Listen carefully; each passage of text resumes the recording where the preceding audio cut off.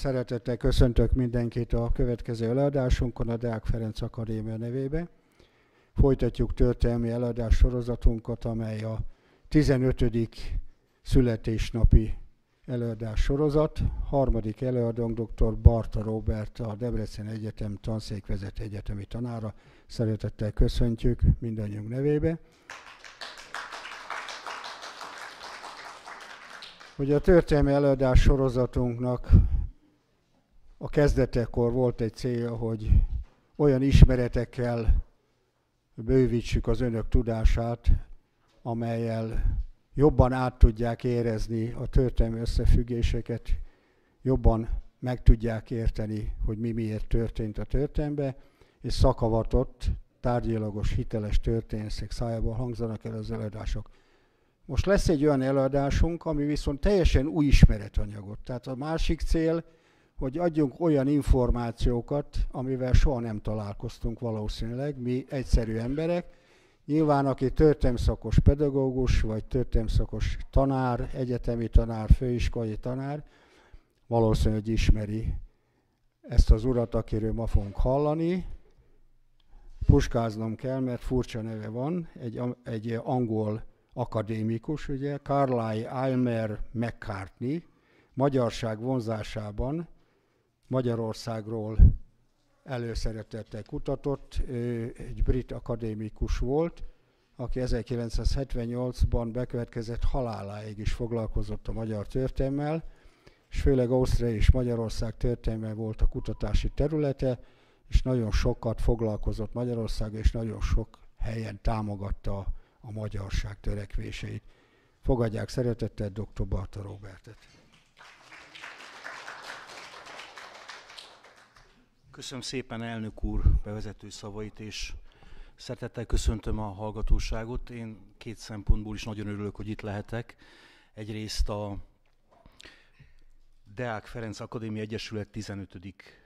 jubileumi előadás sorozatát tartja, és Felberman elnök úr úgy döntött, hogy az eddigi előadók közül választ ötöt, akik ezen az előadás sorozaton szerepelhetnek, és én ebbe az ötös fogadba bekerültem, ami nekem nagy megtiszteltetés egyébként.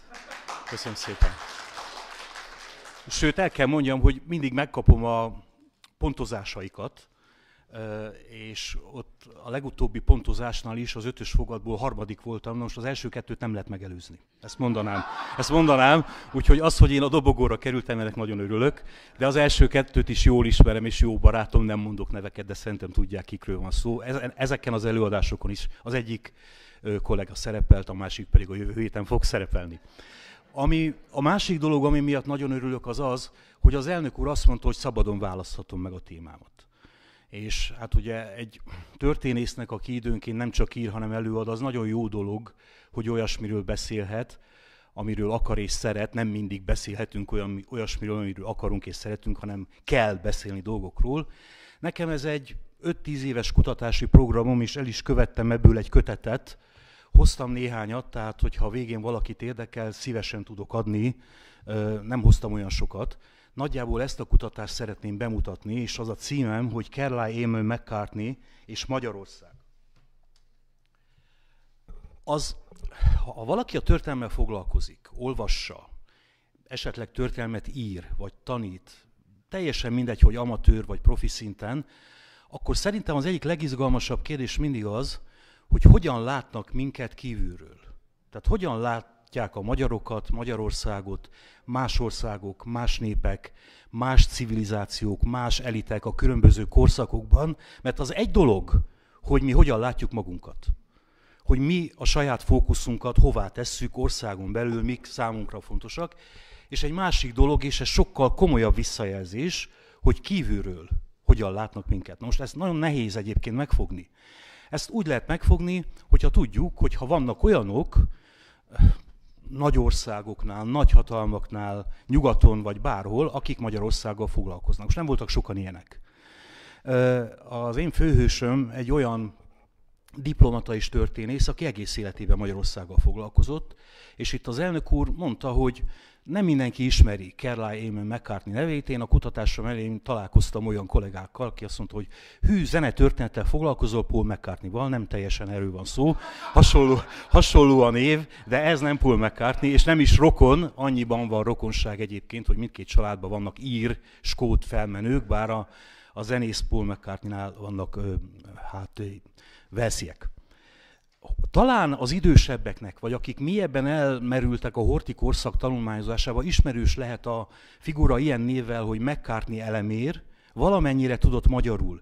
És 1940 és 43 között a BBC magyar nyelvű adásában, ami gyakorlatilag egy háborús propaganda adássorozat volt, hetente egyszer 15 percig nagyon rossz, tört magyarsággal, de mégiscsak magyarul tartott előadásokat. És mindig úgy jelentkezett be, hogy jó estét kívánok, itt McCartney elemér beszél és elmondta nagyjából, hogy a szövetségeseknek mi az álláspontja ebbe a háborúban. Nyilván az volt a feladata, hogy egy kicsit fellazítsa a német szövetségi rendszert, és Magyarországban valamilyen reményt tápláljon, hogy lehet itt nyugatbarát fejlődés a háború után, vagy esetleg a nyugati csapatok bevonulhatnak. Innen lehet ismerős, vagy lehet olyan, aki ismeri a nagyon híres könyvét, az október 15-ét, ezt le is fordították 2006-ban, két kötetben megjelent, meg kell mondjam, hogy a horti korszakkal foglalkozó történészek körében a mai napig talán a legalaposabb és legrészletesebb kötetről van szó, erről majd beszélek. Főleg egyébként a 44-es év és 44 őszén a kiugrási kísérlettel kapcsolatos leírásai egészen parádésak és olyan megállapításai vannak, amit ma egyébként ezzel a horti rendszerrel foglalkozó történészek jobb, baloldal, közép, teljesen minden, mindegy, milyen oldalról beszélünk, nem nagyon cáfolják és hát 1921-től kezdve egészen 1973-ig több mint 40 alkalommal járt Magyarországon. Azok voltak a ritka évek, amikor nem járt. Nagyon széles kapcsolati hálót épített ki, és meg kell mondjam, hogy azon kevés magyar barát lobbisták közé tartozott, akiknek volt némi kapcsolata a brit külügyminisztériummal, a döntéshozókkal, tehát valamennyire próbálta vagy tudta érvényesíteni a magyar érdekeket. Nem voltak sokan ilyenek, tehát én ezért választottam ezt a témát kutatásul, és egy kicsit elfelejtették a McCartney nevét.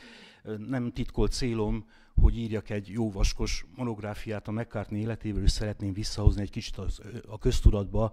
Megérdemli ez a diplomata történész az, hogy a megfelelő helyén kezeljük. A előadás végén, ha marad idő, erről még szeretnék beszélni, hogy, hogy megindult valami folyamat az ő. Nem kell rehabilitálni, csak a megfelelő pozícióba helyezni a magyar közbeszédben.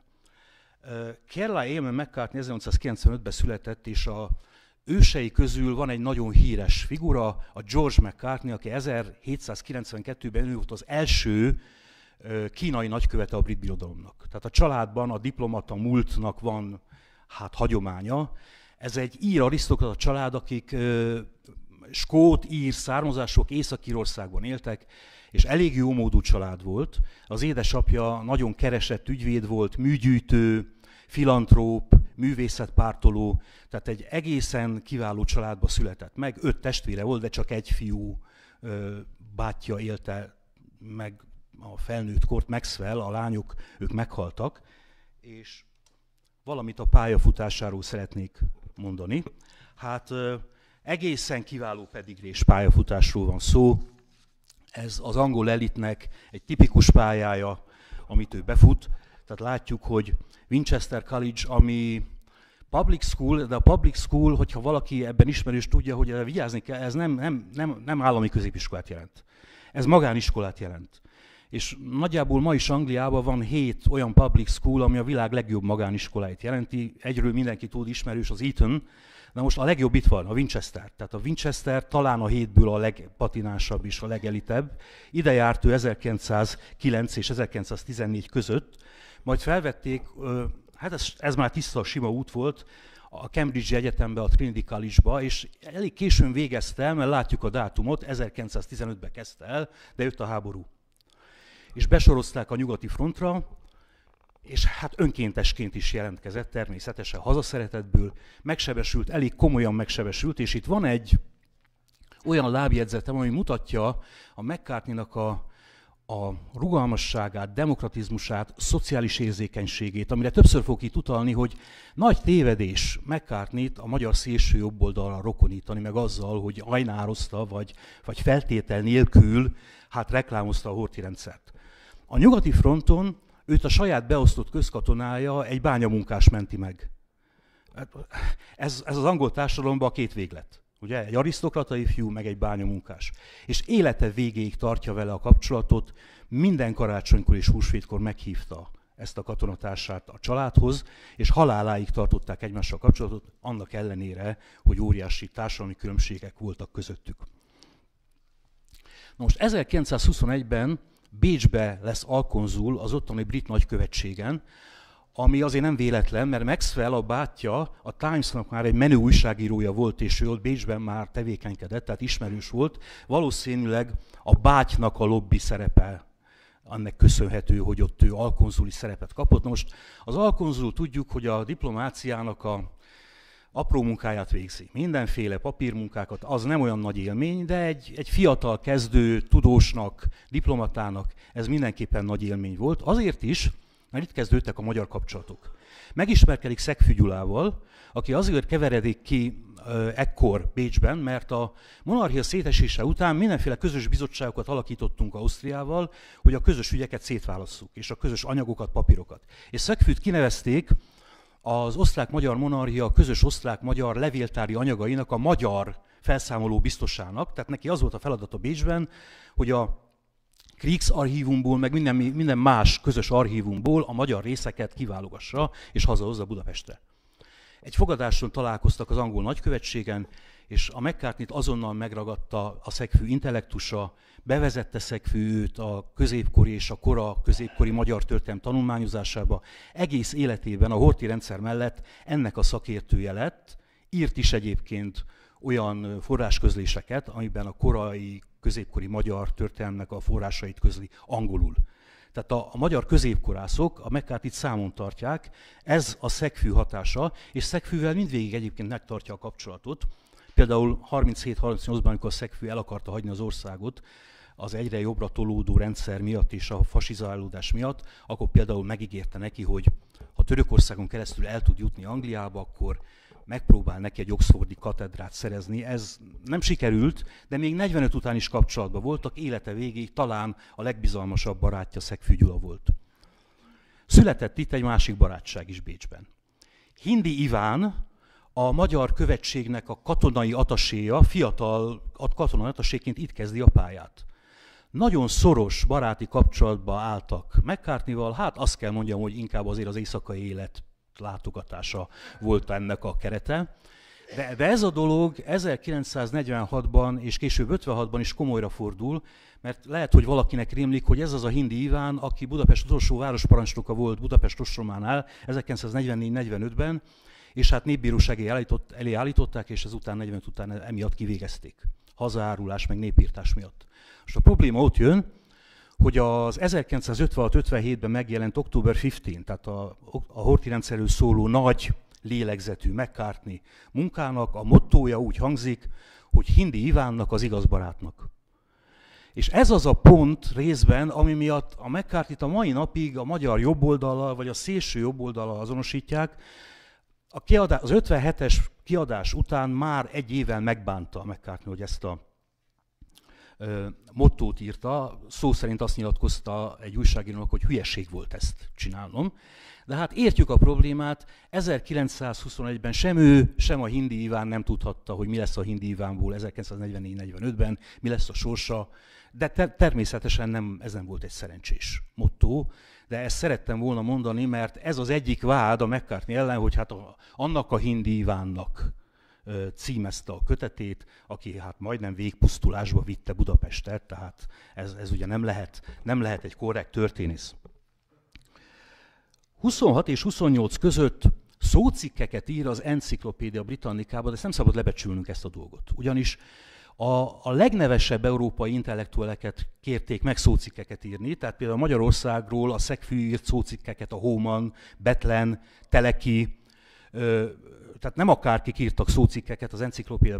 Tehát ezzel a magyar kapcsolatrendszer tovább bővül, 1921-ben egy nagy körutat tesz Baranya megyében például, a Krisztis Sándor, a Pécsi Egyetemi tanár hívja meg, aki a Magyar Nemzeti Szövetségnek volt az elnöke, és nem csak magyar falvakat látott végig, tehát előszeretettel járt egyébként a McCarthy nem csak a városokban, hanem vidéken, hanem elviszik őt sváb falvakba is és nagy élvezettel írja le a leveleiben, hogy őt elvitték sváb és magyar disznótorra, és hogy ő ott mennyire élvezte a disznóölés örömeit. Hát el tudjuk képzelni, hogy egy ilyen messziről jött illusztris nyugati vendéget milyen kedvesen fogadhattak, és nyilvánvalóan biztosan kedves élményei voltak erről neki. 28 és 34 között tulajdonképpen népszövetségi alkalmazott. Tehát ott a dián látják, hogy a népszövetségnek van egy brit szekciója, ez a, ez a British League of Nations Union, és ennek, ennek az Intelligence Department és a, ez tulajdonképpen nem kémkedés volt, hanem ez csak azt jelentette, hogy a Népszövetség alkalmazottjaként bejárta a Népszövetség tagországait, vagy a jelentkezőket, és megvizsgálta a szociális helyzetet, gazdasági helyzetet, segélyezés ügyét. Így járt többször is Magyarországon, tehát főhivatású népszövetségi alkalmazott volt. Majd 38 és 46 között, és ez a pályafutásának egyébként a magja, közhivatalnok lett, ez azt jelenti, hogy bármit ír történészként, azt láttamoztatnia kellett a brit kormányjal, és a Foreign Office háttérszervezetébe dolgozott, mint tudományos tanácsadó. Először ebbe a furcsa nevű Foreign Research and Press Service-ben, aztán pedig 43-tól ebbe a Foreign Office Research Departmentben, a Fordban. Ezt úgy kell elképzelni mindkettőt, hogyha volt egy ügy bármelyik ügyosztályán a brit külügyminisztériumnak, például volt, volt valami probléma a Balkánon vagy Magyarországgal, bejöttek a követi jelentések, és kiadták ezeknek az irodáknak, a szakértőknek, hogy írjatok valami szakmai háttéranyagot, hogy milyen álláspontot alakítsunk ki. Na itt jött a képbe a McCartney, mint Magyarország szakértő. És az azt jelenti, hogy valamennyire tudta befolyásolni a brit ö, külügyi döntéshozatalt, majd pedig a második világháború idején ez komolyá vált, mert Magyarország ugye enemy state, tehát ellenséges állammá vált Nagy-Britannia szemében 1941. december végén, tehát Pearl Harbor után, ahogy az Egyesült Államoknak hadat üzentünk, akkor sorozatban ment a hadüzenet, és ekkora McCartney két tényleg nagyon komoly szervezetnek a háttér tudományos tanácsadójává vált. Ez ugye a Political Intelligence Department és a Warfare Executive Committee, na ezek tényleg katonai titkosszolgálati szervezetek voltak, de amikor kijutottam az ő vele kapcsolatos levéltárakban, legalább négy napot töltöttem azzal, hogy be tudjam bizonyítani, hogy valójában ezeknek a titkos szolgálati szervezeteknek az alkalmazottja volt, nem tudtam bebizonyítani. Tehát valószínűleg csak szakértőként alkalmazták, mint ahogy nagyon sokan másokat is, de így tudja kihallgatni, ma ő volt a kihallgató tisztje Hortinak Luxemburgban majd 45 után, tehát ő az, aki kihallgatja, tehát egy nagyon fontos pozíciót kap. És hát megtartja az akadémiai pozícióit. 1936-tól 65-ig folyamatosan az Oxfordi Egyetemnek az All Souls College-ába. Hát ez a, ez a Research Fellow, ez azt jelentette, hogy, hogy kutatóprofesszor.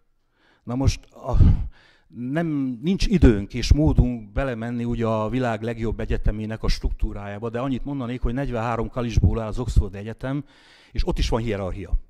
Tehát ott is megvan, hogy melyik az öt legjobb, milyen szempontok vannak. Az All Souls minden mutatót tekintve nem, hogy az ötbe, az első háromba van. Nem is nagyon van diákjuk. És a tanári karból mindig előfordul, most is jelenleg is két-három Nobel-díjas. Tehát a, a lehető legexkluzívabb hely, tehát hogy ott valaki akár egy ilyen kutató professzori státuszt is kapott, az valamit jelentett, és mellette még az Edinburgh Egyetemen is tudott egy ilyen pozíciót szerezni életének utolsó szakaszában a nemzetközi kapcsolatok tanulmányozásával kapcsolatban. Hát amikor a külügybe dolgozik 38 és 46 között, akkor memorandumokat ír, rengeteg memorandumot ír, több mint 120-at ír Magyarországról. Ezek a memorandumok tematikusak. Ír egy memorandumot például a királykérdésről, ír egyet a, a földkérdésről, ír egyet a Magyarország nemzeti kisebbség kérdéséről, a nácizmusról, a nyilasokról Magyarországon. Egészen jó elemzések, 120 ilyen van, ezeket egyébként lehet most már kutatni, és 43 nyar és 46 őszek között szinte minden olyan anyagot széljegyzettel látott el, ami a Foreign Office-ben Magyarországról kijött. Itt mutatnék egy ilyen, ilyen levéltári anyagot, így nézett ki, Tehát ez több oldalas, és lát, talán látható, hogy az első oldalon föl van írva, hogy Hungary, itt a 45-ös évről van szó, itt az ideiglenes nemzeti kormány és nemzetgyűlésnek a, a kapcsolatos diplomácia jelentés, és ott van tollal az elején ez a széjegyzet, ezt úgy hívják, hogy minits, tehát tulajdonképpen széjegyzet. Ezt az ő véleménye ott van, rettenetesen nehéz olvasni egyébként. Borzasztóan sokat kínlódtam vele, még látszólag nagyon szép írása van, de maguk az angolok is nagyon nehezen olvasták. Most ilyenből 1937 és 46 között készít kb. 300-at. Van, amelyik csak négy soros, van, amelyik hat soros, van, amelyik másfél oldalas, ez olyan közepesen hosszú. Tehát volt, volt vele munka ezeket dekódolni tulajdonképpen. Mást is, másra is foglalkozik. 43-tól rábíznak egy ilyen havi belső használatú folyóiratot, ez a Foreign Office-nak a folyóirat, ez a Reports and Bulletins of Axis Control Europe, tulajdonképpen ez, ez egy olyan nyomtatott folyóirat, ami arról szól, hogy a németek által megszállt Európában mi a helyzet, milyen viszonyok vannak, milyen hírek vannak. Ez belső terjesztése volt, és természetesen Közép-Kelet-Európáról, a Balkánról ő írta a híreket. Van egy magánkönyvtára a Lancaster Egyetemen is itt az utolsó sorhoz annyit tennék hozzá, hogy Ugye aki tudóskodik, vagy van olyan rokona ismerőse, tudja, hogy a tudósoknál a legfontosabb a publikáció, meg az idézettség. Ez, ez publikálj, idézzenek és haj meg, nálunk ez a jelszó van. E, hát itt látjuk, hogy 1915 és 78 között nincs, sok, nincs túl sok publikációja. Mai mércével mérve 71. De ez a 71 az olyan publikációkat takar, amelybe egy-egy könyvét több tízezer idézettség illeti meg, tehát igazán világhírűvé lett, tehát látszólag nem sok önálló művet ír, de, de azok, azok nagyon népszerű és nagyon híres művek. Tehát itt ezt már láttuk. És itt szeretnék ö, rátérni a fő munkájára. Ugye azt mondtam, hogy a október 15-ének van egy viszonylag rossz olvasata a motto miatt, a hindi miatt. Van még egy rossz olvasata, itt látszik a magyar kiadás 2006-ban a Gede testvérek. Most a Gede testvérek, mint kiadó, erőszeretettel ad ki jobboldali, szélső jobboldali, és még attól is jobbra álló anyagokat. Tehát nem volt szerencsés, hogy a Gede testvérek fordításában jelent meg a mccartney a kétkötetes munkája, tehát én azt tudom mondani, hogy az eredeti angolt kell olvasni, és azt érdemes olvasni. Még egy adalék ehhez a könyvhöz olyan szinten írja le részletesen a horti kiugrási kísérletet és annak kudarcát, hogy nem óráról órára, hanem percről percre. Most ennek nem csak az az oka, hogy McCartney személyesen is mindenkit ismert a történetből. Mindenkivel találkozott, többször is Magyarországon, Hortival is, Telekivel is. Hanem ennek az az oka, hogy 1945 után okkal, joggal a Horti rendszer egykének nagy része elhagyta az országot. Van, akinek el kellett hagyni, mert tudta, hogy ha népbíróság elé kerül, akkor azt nem éli túl. De van, aki félelemből hagyta el, vagy úgy, úgy gondolta, hogy orosz uralom alatti tud sincs jövő. Na most McCartney, mint brit állampolgár is, aki nagyon sokat tett a külügynek, meg a háború alatt ugye a brit katonai titkosszolgálatnak, teljesen szabad mozgás kapott a háború utáni Európában és világban. Ezért ő szabadon végig látogathatta az összes magyar emigráns személyiséget és szervezetet és neki mindenki szabadon nyilatkozott, és összegyűjthette úgy az anyagokat, ahogy a mai napig sem tudja senki összegyűjteni az anyagokat a horti rendszerről, azóta sem, hiszen ilyen lehetőségei voltak. Ebbe a keretbe illik az, hogy az első történész volt nem csak Magyarországon, hanem a világon, aki megszerezte a Szálasi Napló egyik eredeti gépírásos változatát. Ez a McCartney gyűjtemény Oxfordban ott van, én látom is, ez négy kötetbe be van fűzve. Tényleg az eredeti gépelés, a magyar nyelvű gépelés, és senki sem tudja a mai napig sem, hogy hogyan került hozzá. Tehát valószínűleg valamilyen magyar emigráns ráhagyományozta, tehát ilyen szinten kapcsolatban állt a magyar emigrációval. Tehát ez is magyarázza, hogy ennyire részletes könyvet tudott írni, de még egyszer mondom, ezek talán az bizonyítják, hogy mccartney sem a könyve, sem ő semmi köze nem volt igazából a magyar szélsőjobbhoz, vagy a nyilasokhoz, vagy a, vagy a magyar náci mozgalomhoz. Ezt a diát nem akarom igazából magyarázni, itt vannak a leghíresebb munkái. Ugye 1934-ben nagy feltűnés keltett ezzel a Nemzetállamok és Nemzeti Kisebbségek című munkájával, ez nem jelent meg magyarul, de például a Magyarországnak az ország története, ami 34-ben angolul jelent meg, az 36-ban kihozták magyarul, és talán a leghíresebb az 15 mellett a Duna-medence problémái, ami 39-ben jelent meg, és 42-ben magyarul is lefordították. Ugye ez az a könyv, ahol a McCartney történeti érvekkel azt mondja, hogy tulajdonképpen a magyarokkal kötött trianoni békeszerződés az etnikai szempontokat figyelembe véve hívás volt. És a brit birodalomnak el kell jutni odáig, hogy a jogos etnikai határrevíziós igényeket magyar részről fel kell karolni és ezt nagyon alapos tényekkel alátámasztja. Hát erről én azt hiszem, hogy a jövő héten lesz majd egy előadás Ablonci Balázs elő, tehát ő nyilván részletesebben fog Trianonról beszélni, de mondanám, hogy ezzel válik egyébként világhírűvé, mert eddig még angol nyelven egyetlen mérvadó angol akadémikus történész és diplomata sem fogalmazott meg ilyen nyilvánvaló álláspontot, és a dián az utolsó, hogy hogy sose szakadt el a középkori magyar történelem tanulmányozásáról, tól, még a 90-es években is replikiadásba kiadtak több tanulmányát a középkori magyar történelmről, és a középkorászok, nem csak az angol középkorászok, de a magyar középkorászok is használják egyébként a mccartney a kutatásait korai bizánci korszakból, a korai magyar történelmből, a honfoglalás előtti időszakból. Néhány idézetet hoztam beszédeiből és írásaiból, ami azt mutatja, hogy a McCartney egy, egy nagyon árnyalt, nagyon sokoldalú, nagyon sokirányú megközelítésű, nagyon cizellált, és szerintem elég mély véleményt és képet mutatott Magyarországról, ami egyáltalán nem volt elvárható azoktól, akik számukra egy ilyen kis exotikus tájjal, néppel, meg vidékkel foglalkoztak, mint Kelet-Közép-Európa, ugye a nagy angol birodalomból. Az első az egy 1937. decemberi előadásából származó idézet. 37-ben Magyarországon járt több hétig, és akkor mindig az volt, amikor hazaérkezett, akkor a Chatham House-ba, ami a Royal Institute of International Studies, ez a, ez a brit külügyminisztériumnak egy ilyen informális háttérszervezete, ma is létezik, ez egy magán alapítvány, és annak ő a tagja volt, és ő ott tartott előadásokat. És ebből az előadásnak a fordításából van ez az idézet, és láthatjuk, hogy mennyire jól látja a gömbös halála utáni helyzetet, tehát 37-ben vagyunk, tehát darányi kormány.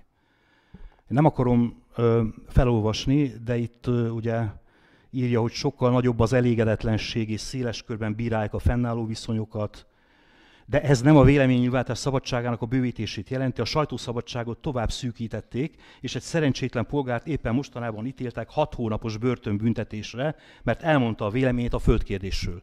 Egy másik beszédében arról ír, hogy valakit meg egy éves börtönre ítéltek azért, mert a grófot nem megfelelő módon szólította meg az utcán. És ezen, ezen, ezen teljesen felháborodott, hogy azért ilyen történet a 30-as évek végén még Kelet-Európában sem fordul elő, nem hogy Magyarországon. Tehát ennyit arról, hogy a McCartney a Horti rendszernek egy feltétlen hát, dicsérője és híve volt. Ezek az én nagyon kemény kritikák. És hát írja vagy, hogy a széleskörű kritikák közül három olyan terület van, ahol megoldásra kell jutni, és ezekről a legutóbbi időkig nem nagyon volt szó. A három probléma, melyeket nem fontossági sorrendben említek, hanem az előadás sorrendjében zsidó kérdés, a németekhez fűződő viszony és a társadalmi problémák különös tekintettel a földkérdésre. Nem hoztam idézetet, de nagyon érdekes volt az álláspontja a gömbösről. Gömbössel többször találkozik, és Gömbösről az volt a véleménye, hogy ő kedvelte a gömböst nem a politikai eszméi miatt, nem a politikai nézetei miatt, mert azt mondja, hogy az összes miniszterelnök közül Gömbös volt az első és az egyetlen, aki nyíltan elmondta az országnak, hogy mik a problémák. Előtte minden miniszterelnök mismásolt. Főleg a Betlen, hogy tartsatok ki, majd mi helyreállítjuk az országot, nem lesz semmi gond, tűrjetek, mi majd a konszolidáció folyamatát elvégezzük, nem kell itt foglalkozni semmi radikalizmussal. Gömbös volt az, aki miniszterelnök lett, és elmondta a lakosságnak, hogy itt van földkérdés probléma, itt van középosztálya probléma, itt van megélhetési probléma, itt sajnos van zsidó kérdés, és ezért kedvelte igazából a McCartney a gömböst, aki nyíltan hát szembeállította a problémákkal a magyar társadalmat, és itt van egy misztikus pont, mert a McCartney számos írásában arról ír, hogy a gömbösnek volt egy nagyon komoly közigazgatási, választójogi és politikai reformtervezete, ami nem a Mussolini féle rendszer bevezetését célozta, és nem is a náci rendszer bevezetését célozta, hanem az országnak valamiféle modernizálását. Én sem találtam meg ezt, meg senki. De ő ehhez ragaszkodott írásaiban, hogy ő látta ezt a reformtervezetet, azóta se tudunk erről semmit. Egyébként a, a gömbössel kapcsolatban nem nagyon van vita a magyar történetírásban a megítélésével kapcsolatban, tehát nem pozitív a megítélése. Ez csak adalék ahhoz, hogy egy angol, akinek egyébként nagyon objektív elemzései vannak, így is láthatta a gömböst. Egyébként a gömbösről a Vonyó József írt egy nagyon jó kötetet, egy gömbös életrajzot, tehát ha valakit, valakit érdekel gömbösnek egy korrekt megítélése, akkor a Vonyó Józsefet érdemes olvasni, és viszonylag modern megközelítései vannak. És ugye itt az idézetnek a végét szeretném még szeretném felhívni a figyelmet, ugye, hogy a baloldal is nem készül kormányzásra, de a jobb oldal sem, és az utolsó mondat mutatja, hogy tényleg mennyire élesen lehet látni ezt a történetet kívülről. A jelenlegi magyar kormányt nem nevezhetjük náci ellenesnek, tehát a darányi kormányt, de legalább nem nácikból áll. Ugye ez, tehát ez, ez nem fekete-fehér elemzés. Ez ennél sokkal komolyabb, és én azt hiszem, hogy teljesen korrekt. Nem, ezzel az utolsó mondattal az ezzel foglalkozó magyar történészek nem tudnak vitatkozni, mert egyet értenek vele. És persze itt a kormánykritika. A magyarok, igen, bocsánat, a mostani magyar kormányról ugye a gazdagok kormánya szegényekkel szemben védik a, a magántulajdont és a nagybirtokot, és hát a baloldal-jobboldal viszonylatában, és itt is egyszer, lehet, hogy duplán, igen, igen, igen, igen. A külpolitikai elemzés ugyanebből a beszédből. A magyarok úgy hiszik, hogy a németek és a magyarok között fegyverbarátság volt, lásd első világháború. Mindkettőjüket legyőzték és igazságtalan békére kényszerítették. Úgy gondolják, hogy Németország a Versailles békével együtt a Trianont is lerombolja, és ezzel az egész békerendszert eltüntetjük, és visszatérünk a háború előtti állapotokhoz. Németország visszaszerzi, amit elvettek tőle, mi pedig visszaállítjuk a háború előtti Magyarországot. Stb. stb. olvashatják. És, és ugye a vége érdekes, a mostani Németország ellenségesen viszonyul Csehszlovákiához, és a magyaroknak ez a legfontosabb. Másrésztől viszont, és ez a kulcsmondat újra, másrésztől viszont a németek csak annyira rokon szenveznek a magyarokkal, mint a románokkal vagy a jugoszlávokkal. Nos, ez az a fókusz, amit Budapestről nem lehetett látni. Budapestről azt lehetett látni, hogy mi a németektől fogjuk megkapni a teljes revíziót, a németektől kapjuk meg a teljes nagyhatalmi támogatottságot. Igen, kaptunk nagyhatalmi támogatottságot, ugyanúgy, mint a románok és a jugoszlávok. És ezt egészen jól látta a McCartney. Hát ez sem nevezhető mondjuk a horti féle külpolitika teljes mértékű hát ajnározásának vagy reklámozásának. Ez, ez egy elég kemény kritika. 1966-ban egy egyetemi tankönyvet írt Ellen Palmerrel, és ezt évtizedekig használták egyébként angol-amerikai egyetemeken. Ő írta a közép-kelet-európáról szóló részeket, meg a Magyarországról szóló részeket is. És itt van például egy rendkívül árnyalt elemzése a magyar külpolitikának a két háború között a kisantant felé. Magyarország a kisantant tagjait különböző módon ítélte meg, és itt végigveszi az országokat. Csehszlovákia felé eléggé engesztelhetetlen gyűlölettel fordult, bár a három kisantant állam között itt bántak a legjobban a magyar kisebbségekkel. Pipát kell húznunk, teljesen igaz. Nem lehet vele vitatkozni, így van. Csehszlovákia volt a magyarok féken tartására létrehozott kisantant alapköve, ez is így van. Ráadásul a magyarok biztosak voltak abban, hogy a szlovákok és a rutének körében még él a szimpátia a régi Magyarország iránt, és ebben 1930-ig igazuk is volt. Ezt is tudjuk bizonyítani. Ezért Szlovákiában folytattak intenzív propagandakampányt. Most jön a magyar-romány viszon. Magyar-romány viszonylatban kevés esély volt arra, hogy egy mindkét országot kielégítő megegyezés szülessen, de Betlen a románokkal kapcsolatban húzta az időt, hogy rábírja őket egy semleges álláspontra egy esetleges csehszlovák-magyar konfliktus idején. De erre egyetlen román kormány sem tett ígéretet. Az a Betlen, aki Erdélyből jött, tehát ismerte a románokat, tudta, hogy meg lehet próbálni velük ezt a húzavonát, a románok ezen a szitán átláttak. Hát erről ír a McCartney. És a Jugoszláviával kapcsolatos külpolitika az, az tényleg egy nagyon árnyalt elemzés. A Jugoszlávia felé irányuló magyar politika inga mozgás mutatott. Egyrésztről gyűlölték a szerbeket, és abban bíztak, hogy a horvátok az első adandó alkalommal kilépnek a rájuk kényszerített államszövetségből. Tudjuk, az usztasa mozgalommal a horti rendszernek nagyon komoly kapcsolatai voltak, nem beszélve a magyar szélsőjobboldalról. Másrésztről azonban egyfajta rokonszenvet és félelemmel vegyes tiszteletet mutattak a szerbek felé, nem feledve a horvátok iránti szimpátiát sem. Horvátországot leszámítva Magyarország Jugoszláviának juttatott területi és népesség számbeli veszteségei messze nem voltak olyan nagyok, mint Csehszlovákia és Románia esetében. Ez egy erős szempont, nem fájt annyira. Nyilván fájt a délvidéki elcsatolt magyarságnak, de ez nem volt olyan súlyú, mint az egész felvidék, vagy az egész Erdély és a Párcium. És a szerb barát magyar irányzat úgy gondolta, hogy ha a horvát függetlenséget nem támogatják, akkor a szerbek vezette Jugoszlávia ki fog lépni a kisantantból. Ez a két irányzat évekig egymással párhuzamosan létezett.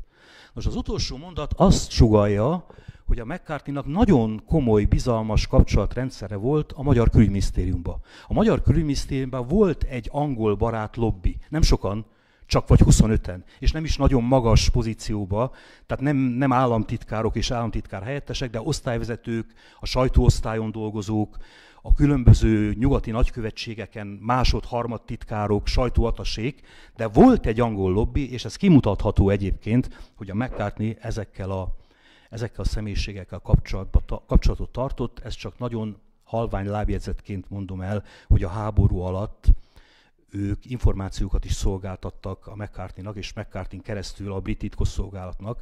Tehát ezt a horti rendszer akkori hadijoga tekintetében ez egy nettó, vegytiszta hazárulás volt, de hát ugye háború volt. Tehát ezt, ezt meg lehet később ítélni. És talán a legizgalmasabb egy 1946-os előadása. McCartney 1946. február végén, március elején Budapesten járt. Ekkor a vége a háborúnak, és a British Council küldte. Tudjuk, hogy a British Council az ma is angol kormányzati szerv, tehát angol költségvetési pénzből kapja a pénzét, és igazából ilyen kulturális szervezet, mindenhol a világon, ahol van a British Councilnak lerakata vagy irodája, ott mindenhol az angol kultúrát, tudományt próbálja népszerűsíteni, kapcsolatokat építeni. Na most azért a két világháború között és a második világháború alatt és utána néhány évig nem csak ezzel foglalkozott, hanem információkat szerzett a brit kormányzatnak, és ilyen pénzen érkezik McCartney Budapestre, nem csak Budapesten jár egyébként, hanem két napot Sárospatakon is, meglátogatja az angol internátust, amelyik romokba hever persze minden szempontból, tehát megint az van, hogy szeret vidékre is járni, és, és ír a szovjet megszállásról, ami, ami ugye nagyon izgalmas, és megint, amiket ír, azokat nagyjából szóró-szóra az ezzel foglalkozó, viszonylag objektív, tisztességes, komoly magyar történész gárda történetírás alá tudja támasztani. Tehát nincs semmi túlzás ebben. Ugye azzal kezdő, a szovjet megszállás alapvető politikai és lélektani hatást gyakorol a magyarokra. Az előadó, vagyis önmagáról beszél, az előadó ezzel nem azt akarja mondani, hogy a szovjetek rosszak és a magyarok jók, hiszen a magyarok már kezdték elfelejteni, hogy a háború idején korábban ők szállták meg a Szovjetunió egy részét. Ez ugye kollektív amnézia, ez úgy elfelejtődött. Igen. De bármi is történt a múltban, a magyaroknak van okuk a félelemre. Buda szovjet elfoglalása után nem sokkal a szovjetek 40-50 ezer személy tartóztattak le az utcákon, és hadifogolyként internálták őket, a valóságban azért, mert már korábban hivatalosan közölték ezt a számot, mint a Buda ostrománál elfogott ellenséges katonák létszámát. Tehát előre beígérték Stálinnak, hogy ennyi hadifogoly lesz, alig ejtettek egyébként. Így is folytatja McCartney. Valójában alig ejtettek hadifoglyot, és ezekkel az internált civilekkel kellett a Stálinnak küldendő létszámot feltölteni. Ismerős, a Málenki robot is így működött. Létszámot kellett produkálni. Sokukat szovjet kényszermunkára küldték, és ők nem tértek vissza. Egy részüket Ausztriába vezényelték harcolni, és voltak olyanok is, akiket egyszerűen elengedtek. Ez, ez a tény azóta sokszorosan bizonyítást nyert, úgy tudom, az utolsó előadó Ungvári Krisztián, akár meg is kérdezhetik tőle a marad idő, ő írta a Budapest ostromát, ő alá tudja támasztani ezt a 40-50 ezes számot, tehát a mccartney teljesen igaza van. Ezen kívül egy másik téma. Ezen kívül ott vannak a folyamatos fosztogatások. Különösen az órák, karórák, zsebórák tekintetében. A szovjetek órát, órák iránti rajongásától már viccek is születtek Magyarországon. Aztán ott vannak a nőket érintő atrocitások. Az ezekkel kapcsolatos történetek nyilvánvalóan túlzóak, de azt sem szabad hinnünk, hogy nem történtek ilyenek. A szövetségesek katonai missziójának igen kevés bizalmas magyar barátja van, és a nők nem vallják be az őket ért inzultusokat. Ugye ez pontosan egy olyan bűncselekmény, a nemi erőszak, amire a, a, a szenvedő fél nem büszke, szégyelli, nagyon, nagyon kevés ilyen ügy került bíróság elé. Az előadó úgy gondolja, hogy ebből a szempontból a legelsőként érkezett csapatok voltak a legrosszabbak, De ez megváltozott, amikor az idősebb katonákat frissen toborzott fiatalok váltották fel. Jelenleg nincs túl sok szovjet katona a magyar fővárosban. Ez azt jelentette, hogy 46. februárjában olyan 6000 fős megszálló egység volt csak, ugye már vége régen a háborúnak. Szerencsétlen dolog, hogy ilyen esetek még most is előfordulnak. Egy nappal azelőtt, hogy az előadó elhagyta a magyar fővárost, megtalálták négy lány holtestét egy kiürített szovjet katonai szálláshely melletti szemétdomb alatt. Az éjszakai Budapesten senki sem mer egyedül az utcára merészkedni. Egy vacsora meghívás egész éjszakára szól, ha csak autót nem rendelnek a válaszútra. Az előadó biztos abban, hogy mélyen gyökerező félelem és gyűlölet van a szovjetek iránt, még a legszegényebb rétegek körében is, Időnként ugyan előfordult, hogy műveltebb magyarok némi orosz és szerb nyelvismerettel barátságosabb viszonyba kerültek szovjet tisztekkel. És az utolsó mondat, megint az utolsó mondatra hívnám fel a figyelmet, amit, amit igazából nem eléggé hangsúlyozunk, de ez nagyon sok mindent megmagyaráz, például 1956-ban azt az országos szintű hihetetlen kommunista és szovjet gyűlöletet, ami, ami valószínűleg itt született, a parasztok és a munkások szenvedtek a legtöbbet a szovjet rekvirálások miatt, és az előadó nem hiszi, hogy az ekkor szerzett keserű tapasztalatokat bármi is enyhítheti. És ebben teljesen igaza volt. Tehát ezt nagyon jól látta 46 elején. Aztán persze 46 és 73 között ismert okok miatt már nem járt Magyarországon, nem kívánatos személyiség volt egyébként a Rákosi rendszernek sem, és hát a Kádár rendszernek sem igazán az első időszakban. Itt a közéleti publicisztikai tevékenységéről már beszéltem, tehát ezekről az előadásokról. Hat nagyobb előadása volt, de még 46-ban is volt ilyen előadása. Az viták, azt viták követték. És a BBC rádióadásból nem tudtam hozni hangfájlt, van hangfájlom, csak azért nem tudtam hozni, mert a BBC-nél copyright van, tehát nem lehet lejátszani, de ha valaki a rádióadásairól akar egy jó tanulmányt olvasni, akkor Pál Monikának ebben a kötetben ott középen ez elolvastató. És a publicisztikájában inkább kimutatható a szubjektív magyar barátság. Ehhez két elég híres cikkét szeretném idézni, mind a kettő 38. októberében jelent meg a Times-ba, és ekkor Budapesten volt, és az, az idő, tehát a timing, tehát az időzítés is fontos. Ugye az egyik október 7-én, a másik pedig október végén, tehát ez pontosan a Müncheni szerződés és az első bécsi döntés között van. És a Times szerkesztői hát nagy dilemma előtt álltak, mert sokkal korábban megírta ezeket a cikkeket a McCarthy, de nem merték lehozni. A Times nagyon erős csehszlovák, cseh, szlovák, szerb és horvát, meg román befolyás alatt volt. De McCartney akkora név volt, hogy azt meg nem merték megtenni, hogy ne hozzák le a cikkeket, úgyhogy elhúzták a publikációt, de mindkét cikk, tehát a, ez a grievances of minorities, tehát a, a kis kisebbségek szenvedései, és a másik pedig a magyarok és a szlovákok, ugye rivális célok és egy jogos revíziónak a lehetősége, mindkettő azt célozza, hogy ha a magyarok megkapják a felvidék azon lakta területeit, ahol magyar többség van, tehát a Csalló közt és a felvidék déli részét, tehát a Szlovákia déli részét, ahol kimutathatóan 80% fölött van a magyar kisebbség aránya a lakosságból, az nem csak Magyarországot fogja kielégíteni és megnyugtatni, hanem a Szlovákiának sem lesz rossz. Hát ez egy kisebb fajta bomba volt, és ek, ekkor, ekkor azért rásütötték a mccartney hogy ő biztosan, biztosan a Horti rendszer ügynöke, és Londonban egyébként a román, szerb és a cseh barát lobbisták utána meg is szakították vele a kapcsolatokat, például Stephen Watson onnantól kezdve már nem szólt hozzá, és nem is köszöntek egymásnak, tehát akkor, ekkor kapta a bélyeget. Valóban volt ebben a két cikkben szerintem egy csomó szubjektív magyar barátság, de az előző műveiből azért nem ezt lehetett ki, kihallani vagy kihámozni. 1946 után is aktív. Felveszik a Magyar Tudományos Akadémiára a 40-es évek elején, élete végéig rendkívül büszkén viseli ezt a címet. Noha 49-ben a kommunista hatalom, ugye akadémiát és a tudományt is ugye a kommunisták leisaltották, és 49-ben megfosztották az akadémikusi címétől, tehát akadémia külső tagja volt, azzal, hogy a Horti rendszer propagandistája volt, és a Horti rendszer híve, ezért ő nem illik ide. Egyébként a 2000-es évek elején visszaállították a levelező akadémiai tagságát, tehát itt rendben van, itt visszaállt a világrendje.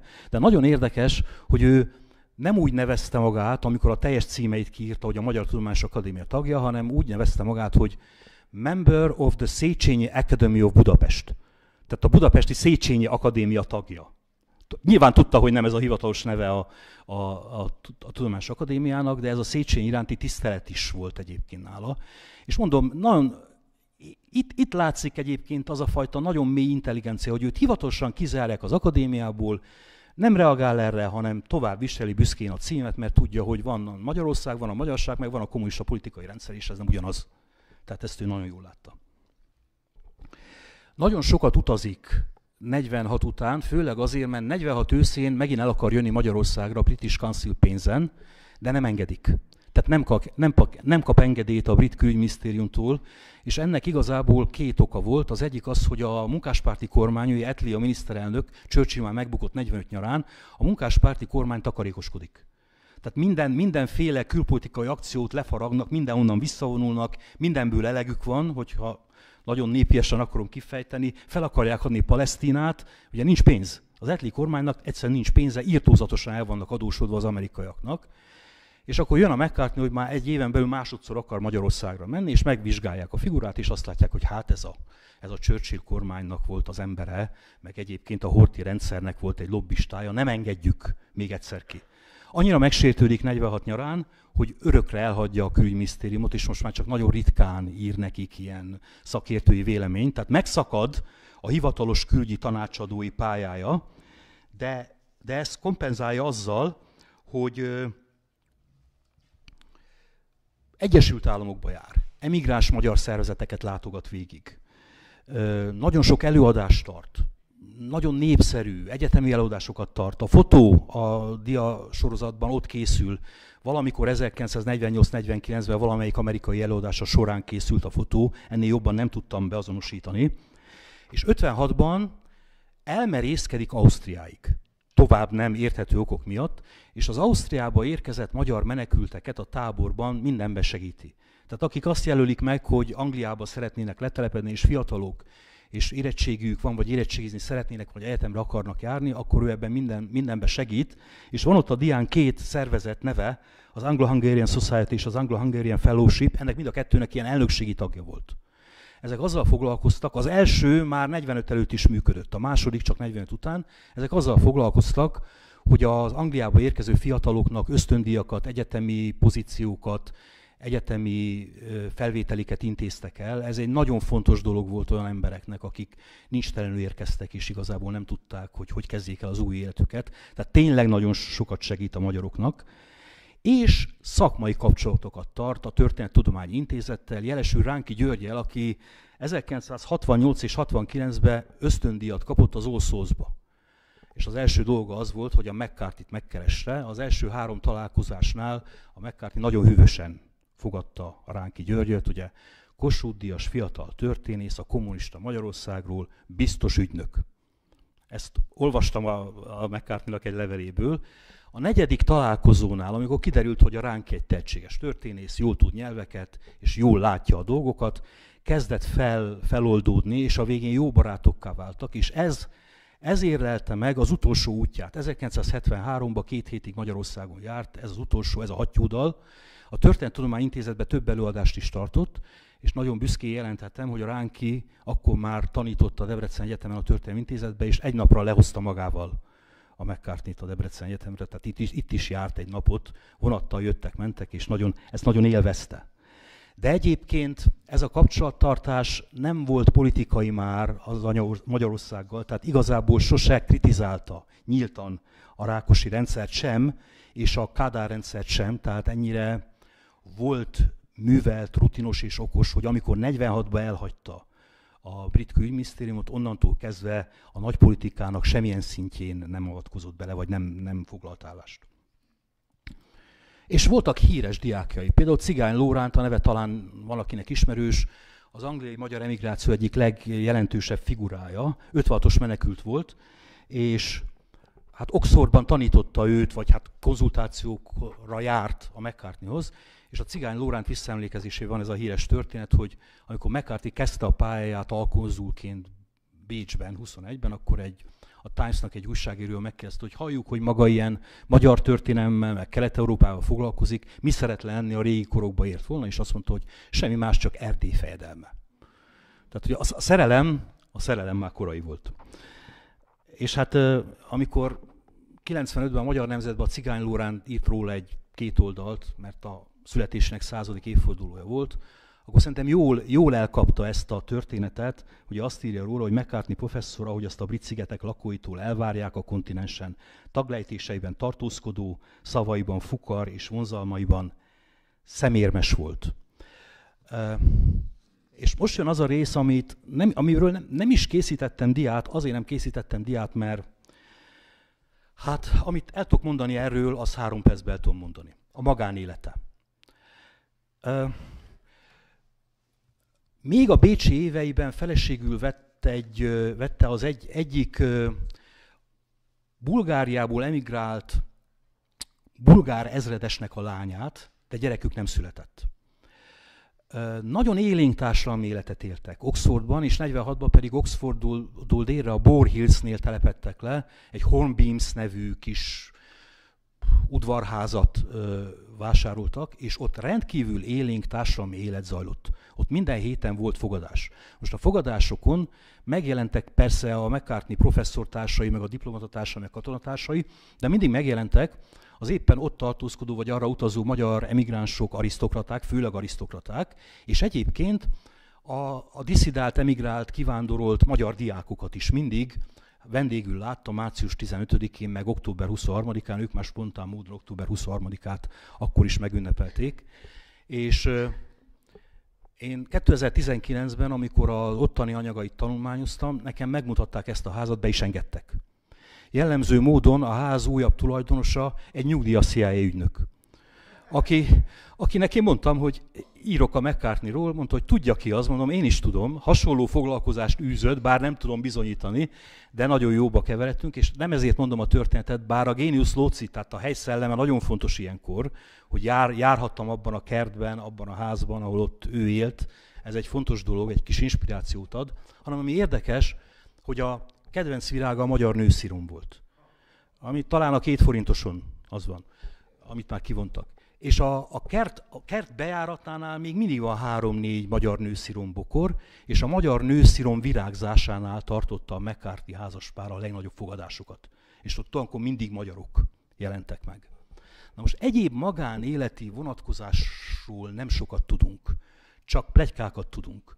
Például a, a Robert Sitton Watson az megvádolta mérsékelt antiszemitizmussal és kemény alkoholizmussal. Én egyikre sem találtam példát, bizonyítékot. Arra találtam bizonyítékot, hogy nem vetette meg a magyar borokat és a magyar pálinkákat, de, de ez az alkoholizmus, ez azért a, ez relatív, tehát a, a, a brit elitnél az alkoholizmus az nem olyan, mint a magyarnál. Tehát ez, ez azért relatív. Az antiszemitizmus biztosan nem működött egyébként. Nagyon sokat ír a magyar zsidóság történetéről, de ez nem működött, tehát ez nem lépte túl szerintem a történészi kereteket. Úgyhogy inkább ellenségei terjesztettek róla nagyon furcsa plegykákat. Talán a magánéletének a legizgalmasabb része az lehetett, hogy a háborúati tevékenysége, de erről biztosan van anyag, de ezek még talán nem igazán kutathatók.